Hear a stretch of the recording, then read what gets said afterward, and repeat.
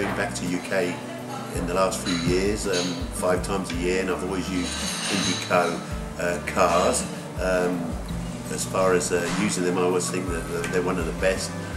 Customer service is second to none, and I've given them many tasks like taking a car and dropping off a car at various places, and they've always been so helpful. And I think their secret is their customer relationships, um, personal. I always seem to speak to somebody, there's no answer phone. We're going back to uh, England this uh, year, and my son is doing a bike ride from John O'Groats to Land's End, and Indigo are kindly sponsoring towards sponsoring the car, which is very helpful. And um, that's about it, really. Thank you very much.